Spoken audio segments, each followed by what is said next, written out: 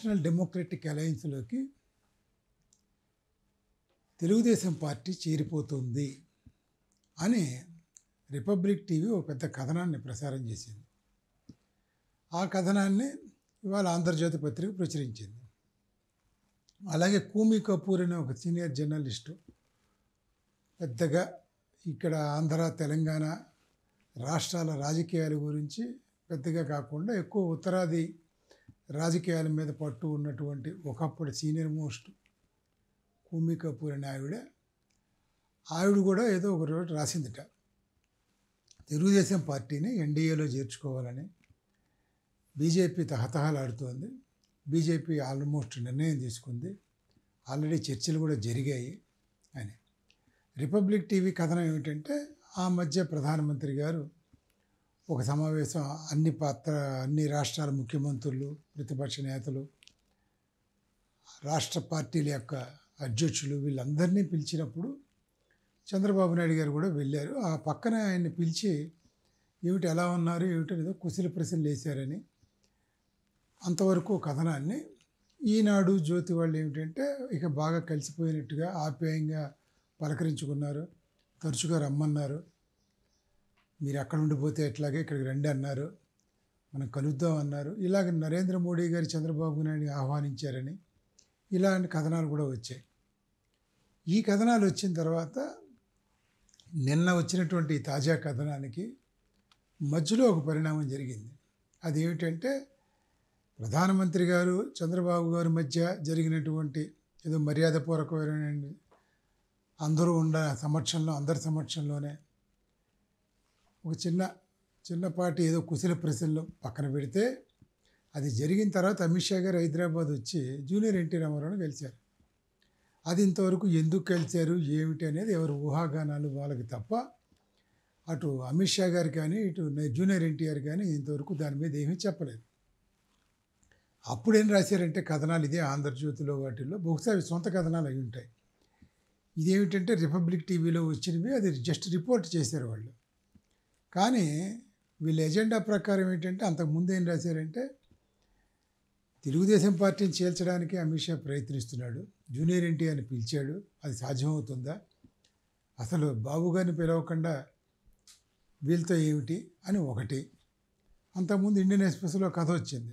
అది చంద్రబాబు నాయుడు గారే రామోజీరావు గారి సమక్షంలో అమిత్ షా గారితో ఫిలిం సిటీలో సమావేశం అయిపోతున్నారు నేరుగా అని. మరి అది ఎక్కడ కాలా? అది అలా ఉంచితే ఇంకో కథనం ఏమిటంటే లోకేష్ ఆ రోజు కలిశాడు. రామోజీరావు గారిని అమిత్ షా గారు కలిసినప్పుడే లోకేష్ అన్నీ మాట్లాడేశాడు అని ఒక కథనం. అంటే అసలు ఒక ఇక్కడ వ్యవహారం ఎలా కనిపిస్తోంది అంటే రెండు తెలుగు రాష్ట్రాల్లో తెలుగుదేశం పార్టీ ఎన్డీఏలోకి బీజేపీతో సయోధ్యకి పొత్తులకి సీట్ల సర్దుబాటుకి తహతహలాడుతుందని అర్థం. ఎందుకు అంటే బీజేపీ జనసేన ఆల్రెడీ అక్కడ పొత్తులో ఉన్నాయి ఆంధ్రప్రదేశ్లో. అటువంటి వాటితో వీళ్ళు కూడా తెలుగుదేశం పార్టీ కూడా చేరితే తెలుగుదేశం జనసేన బీజేపీ వీళ్ళ కాంబినేషన్ రెండు వేల పద్నాలుగులో జనసేన పోటీ చేయకపోయినా మద్దతు అయితే ప్రకటించింది. అదే ఆంధ్రప్రదేశ్లో వీళ్ళు ముగ్గురు కలవడం వల్ల అధికారంలోకి వచ్చారు. బీజేపీ తెలుగుదేశం కూటమి కూడా వచ్చింది. కేంద్రంలో వీళ్ళు వీళ్ళు కేంద్ర ప్రభుత్వంలో చేరారు. రాష్ట్ర ప్రభుత్వంలో బీజేపీ వాళ్ళు చేరారు జనసేన మద్దతు ఇచ్చారు. అందరికీ తెలిసేది. అటువంటి కాంబినేషన్ కావాలి. అలా అయితేనే రెండు వేల ఇరవై నాలుగు మేలో జరిగే అసెంబ్లీ ఎన్నికల్లో ఆంధ్రప్రదేశ్లో మనం గ్యారంటీకి అధికారంలోకి వచ్చేస్తాం. అనేది బాగా బలంగా ఒక ప్రచారం అయితే జరుగుతోంది. తెలుగుదేశం నాయకులు ఎక్కడ ఖండించడంలా కేవలం ఒకటే ఏంటంటే ఈ మధ్య ఒంగోలు మహానాడు జరిగిన తర్వాత పొత్తులు అవన్నీ అధిష్టాన వర్గం ఎన్నికల సమయంలో చూసుకుంటాం. ఇప్పటికైతే అది ఏమీ లేదు. మేము ఒంటరిగానే పోటీ చేస్తాం. మేమే అధికారంలోకి వస్తాం. తెలుగుదేశం పార్టీ అధికారికంగానే చెప్తోంది. అంటే అదే పరిస్థితుల్లో మిగతా పక్షాలు అంటే బీజేపీ జనసేన కలుపుకుంటారా అనే ప్రశ్నలకి వాళ్ళు ఎక్కడా మేము కలుపుకునే ప్రశ్నే లేదు అని ఎక్కడ వాళ్ళు ఖండించడంలా సమర్థిస్తున్నారు. తెలుగుదేశం పార్టీ అనుకూలంగా ఉన్నటువంటి ఈనాడు ఆంధ్రజ్యోతో టీవీ ఫైవ్ ఇంకా మిగిలిన కొన్ని ఛానల్స్ కానీ పత్రికలు కానీ వాళ్ళు ఒక పథకం ప్రకారం తెలుగుదేశం బీజేపీ మధ్య జనసేన మధ్య సీట్ల సర్దుబాటు కూడా అయిపోతుంది. అందులో భాగంగానే గతంలో చంద్రబాబు నాయుడు గారు వ్యాఖ్య చేశారు త్యాగానికి సిద్ధం కావాలని. మామూలుగా అయితే నూట డెబ్బై ఐదు అసెంబ్లీ నియోజకవర్గాల్లో ఆయనే పోటీ చేస్తారు తెలుగుదేశం పార్టీ. మరి జనసేన వాళ్ళకు యాభైయో నలభైయో ఇవ్వాలంటే బీజేపీకు పదో పదిహేను ఇవ్వాలంటే వీళ్ళు త్యాగం చేయాలి కదా. ఈ త్యాగం చేయడానికే ఆయన సిద్ధంగా అమ్మన్నారు. ఇది దీని దృష్టిలో పెట్టుకునే అనేది ఒకటి. ఈయన ఈ తహతహలాడడం ఎందుకు అంటే ఇవాళ కేంద్రం నుంచి రాష్ట్రానికి రావాల్సినటువంటి పథకాలు అవి రావడం లేదు. దాని గురించి వీళ్ళు ఎక్కడ దాని మీద ఒప్పందం కాదు. ఆంధ్రప్రదేశ్కి అన్యాయం జరుగుతోంది. మేము ప్రత్యేక హోదా ఇవ్వలేదనే కదా మేము బయటకు వచ్చాం. అప్పుడు మిమ్మల్ని విమర్శించాం. అది ఇంకా ఇవ్వలేదు. అది ఇవ్వండి. పోనీ ఇస్తారనే దాని అగ్రిమెంట్ మీద కాదు మళ్ళీ గెలిచేది. తెలుగుదేశం పార్టీకి నైతికంగా కేంద్రంలో అధికారంలో ఉన్నటువంటి మోడీ గారి ప్రభుత్వం ఉంటే ఇక్కడ రేపు పొద్దున్న జరిగే ఖర్చుకి మనందరికీ తెలుసు రెండు వేల పద్దెనిమిది తెలంగాణలో ఇక్కడ ప్రజాకూటమి ఏర్పడినప్పుడు రెండు వేల పంతొమ్మిది ఎన్నికలు పెట్టినప్పుడు ఆంధ్రప్రదేశ్లో చంద్రబాబు నాయుడు గారు ఆయన దగ్గర ఉన్న అంతవరకు ఉన్నటువంటి డబ్బు అంతటిని కూడా వేరే వేరే వాళ్ళందరికీ సర్దు చే సర్దారు. ఎందుకంటే ఇంకా రావాల్సిన డబ్బు ఉంది. ఆ డబ్బుతో రెండు వేల పంతొమ్మిది అసెంబ్లీ ఎన్నికల్లో ఆయన పార్టీ వ్యయానికి పార్టీ అభ్యర్థుల తరపున ఖర్చు చేయడానికి పనికొస్తుంది అని ఆయన ఊహించాడు. అంతా ప్లాన్ చేసుకున్నాడు. కానీ ఎప్పుడైతే ఇక్కడ కేసీఆర్ గారు చంద్రబాబు నాయుడు తీవ్రంగా వ్యతిరేకించి అధికారంలోకి వచ్చిన ఆయన కేంద్రంలో నరేంద్ర మోడీ గారిని అప్పుడు ఆయన తిట్టిపోసి కదా వీళ్ళు బయటకు వచ్చిన తెలుగుదేశం పార్టీ.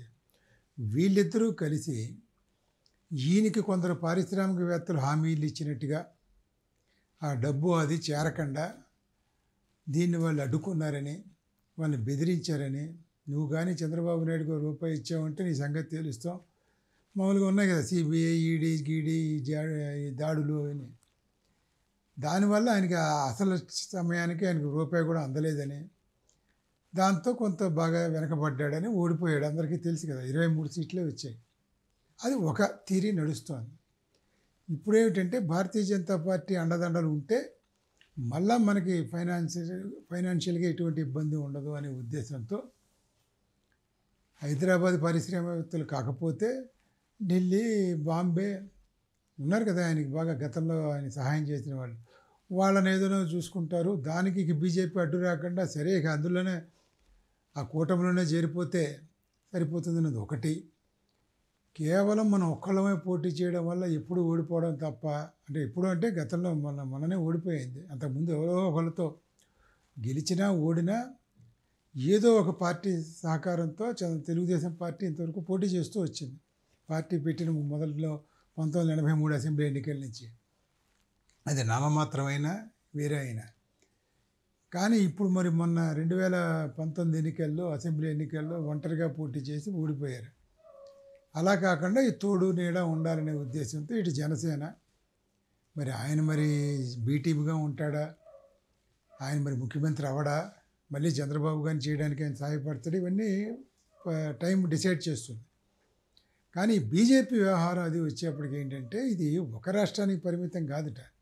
తెలంగాణలో కూడా అనట తెలంగాణలో ఆల్రెడీ ప్రజా వ్యతిరేక వ్యతి వ్యతిరేక వెల్లువ ఒకటి బాగా బయలుదేరింది. కాంగ్రెస్ ఎంత అన్నగిల్లింది అది గెలుస్తుందనే అవకాశాలు. ప్రత్యామ్నాయం మేమే తెలంగాణలో.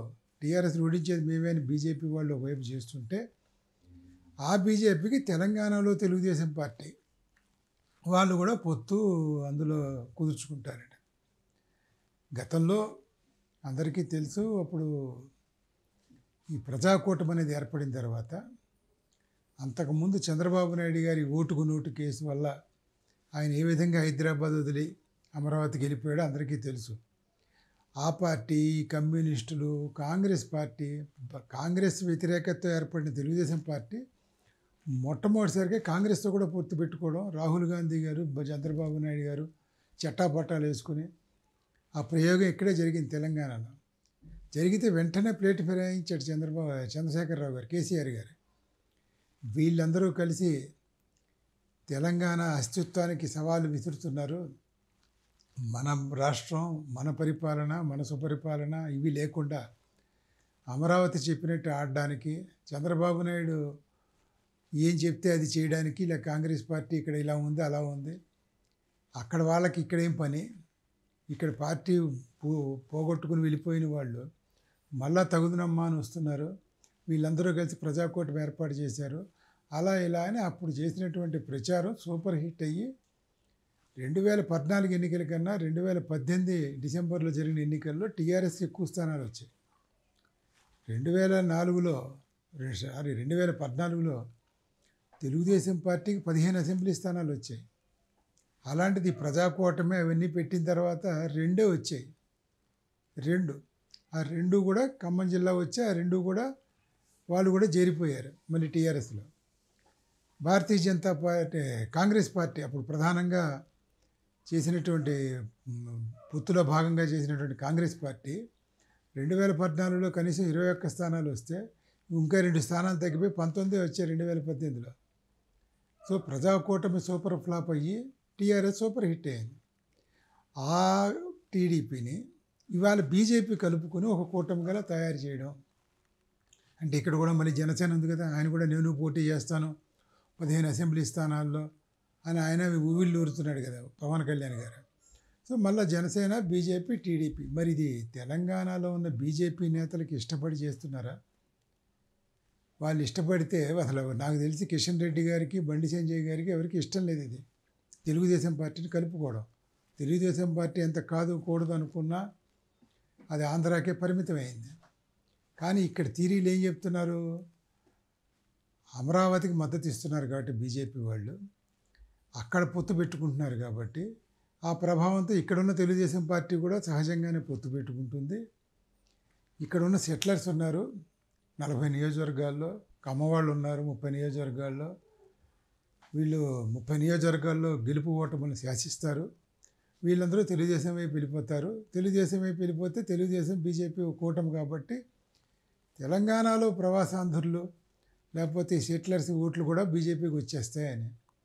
ఇది చెప్పుకోవడానికి తీరి తప్ప మరి ఇవన్నీ మరి ప్రజాకూటమి ఉన్నప్పుడు ఇదే సెటిలర్స్ ఉన్నప్పుడు ఇదే ముప్పై నియోజకవర్గాల్లో కమ్మవాళ్ళు ఉన్నప్పుడు ఇదే నలభై నియోజకవర్గాల్లో సీమాంధ్రులు ఉన్నప్పుడు మరి తెలుగుదేశం పార్టీకి వచ్చిన రెండేగా అసెంబ్లీ?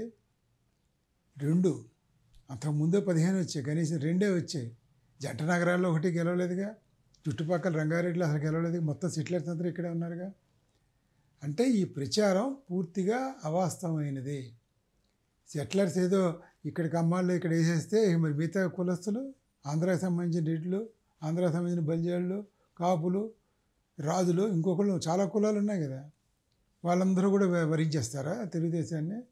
మరి గతంలో ఎందుకు వరించలేదు? మరి దానికి సమాధానం లేదు. సో ఈ వ్యవహారాలన్నీ జరుగుతున్న సందర్భంలో సమయంలో ఇప్పుడు ఇది కొత్తగా రిపబ్లిక్ టీవీ ఏదో ప్రసారం చేసింది. రెండు రాష్ట్రాల్లోనూ బీజేపీతో టీడీపీ అవగాహన అదేదో ఎన్డీఏలో కూటమిలో చేరడం అది అంటే దీనికి ఇంత నేపథ్యం ఉంది. మరి ఇది ఇంకా ఎటువంటి పరిణామాలు దారితీస్తుందో అసలు తెలంగాణ నేతలకు ఇష్టం లేకుండా బీజేపీ అలా చేస్తుందా? అసలు మీరు ప్రధానమంత్రి మీటింగ్లోనే చంద్రబాబు నాయుడు గారికి అవగాహన వచ్చిన పక్షంలో ఆ తర్వాత జరిగిన అమిత్ షా జూనియర్ ఎన్టీఆర్ సమావేశం ఏమిటి? అదెందుకు? ఆయన ఏదో నువ్వు పార్టీ పెట్టుకో నువ్వు టీడీపీని చీల్చు అవన్నీ అని అన్నారని కూడా ఏ కథలు వచ్చాయి కదా. ఎంతవరకు వాస్తవం ఏమిటనేది ఇంకా నా రానున్న రోజుల్లో తప్పకుండా తేలుతుంది.